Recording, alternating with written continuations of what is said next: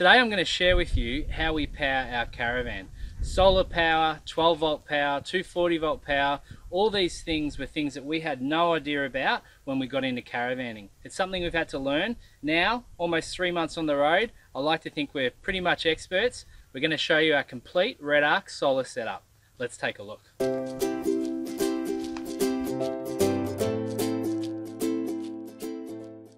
Have out here one of our favorite pieces of solar kit and this is a Redarc 190 watt uh, solar blanket.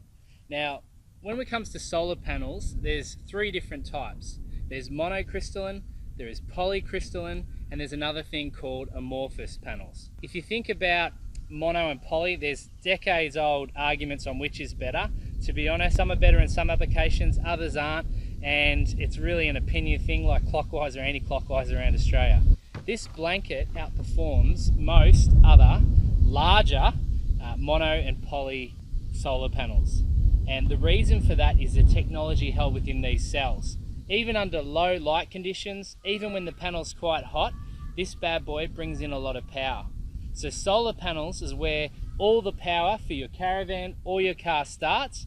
And generally, we like to put this out on the front of our car and point the car at where the sun is at any given time in this case, we've got east to west coming across so we can get sun all the time onto our solar panels. I'm going to show you another solar panel we've got up on the roof just to show you the difference. Let's have a look. So up here I've got a 150 watt monocrystalline panel. Now this panel is fixed to the roof of the car. Unlike our solar blanket which we can move around depending on where we need to capture the sun, this is always fixed. But at 150 watts this runs the fridge inside the car very very comfortably. The solar panels basically take the, the light from the sun and convert that into electricity. How do we get that electricity into the outlets in the caravan? Let's go take a look. So back to our solar blanket, I'm going to show you how we get power from the sun that gets into the caravan's batteries and then out into the outlets.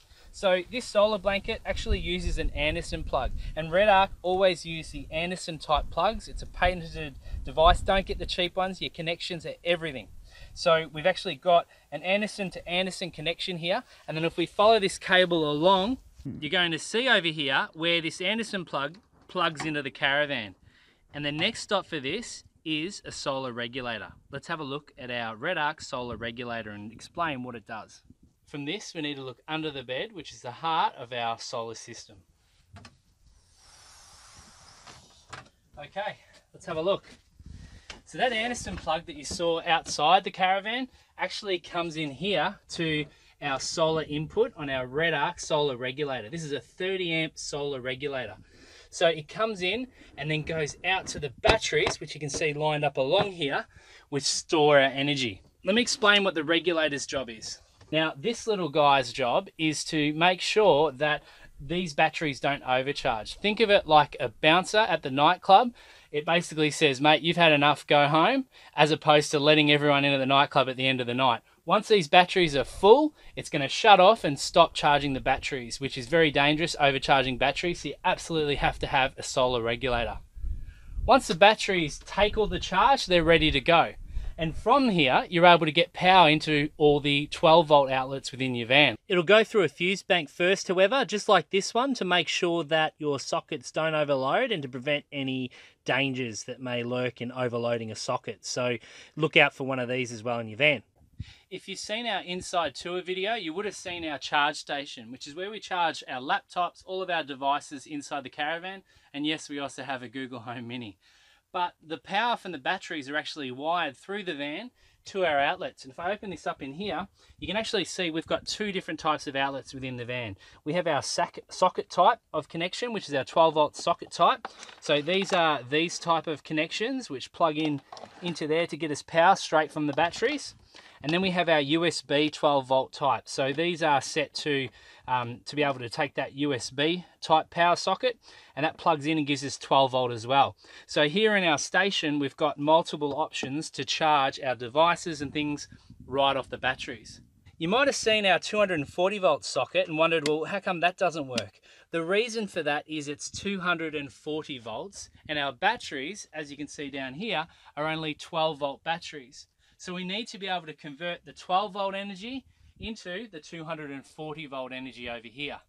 To do that, you need an inverter and that's what we've got down here. So this is our Redarc pure sine wave 3000 watt inverter. Now this is perhaps a little bit too big for a lot of people's needs. The reason why we have such a big one is we have a Thermomix on board. I'm not sure why, we just do. Um, and when the sun's out, it's bread making and Thermomix time because we're able to convert that 12 volt energy through the inverter to that 240 volt socket and then use all the appliances we need that we normally use in our home on a 240 volt socket. Now, a couple of things to be aware of. Converting from 12 volts to 240 volts, it's going to use a lot more power than a 12 volt type application or device. So the inverter spins it up and creates and replicates the same pure waves that your 240 volt socket would have at home. So as soon as we have this plugged in and we turn it on, which is a little button we have over here at our charge station, so if you look over here, you can see our inverter remote control. So we don't have to get under the bed to turn on the inverter. We can just push a button and charge all the 240 volt outlets with power. So with the push of a button, we're able to turn on our inverter, which then powers all the 240 volt sockets around the caravan. It does a great job mimicking a traditional 240 volt power supply here in our caravan as we travel around. But the other thing we've done here is we've actually made live all the sockets within the caravan. So safety is pretty important. I'm going to show you how we can actually separate 240 mains power from a caravan park with our 240 volt inverter so it's done safely and correctly. Just going to turn that off and I'll have a look. So in here we have our safety switch and we have our connection selection. So when we're at a caravan park and we want to use AC mains, we're able to switch down to use the AC mains in the caravan park. That's the plug we have outside the caravan that allows us to plug traditional 240 volt into our caravan. But when we're on the road and we don't have that plug, we switch it up to our inverter. And our inverter setting then means that when we push that button, 240 volt inverter is then supply, supplying power through all those sockets. If you didn't have something like this, first of all, it wouldn't be legal. Secondary, um, it's a big problem because if you had it set to inverter and you got 240 volt, you plug in 240 volt, all of a sudden you've got a 480 volt situation, and that's not good. Um, that's a that's a disaster waiting to happen. So getting this stuff put in properly, don't muck around with it, is well worth it to get the right things running inside your caravan safely.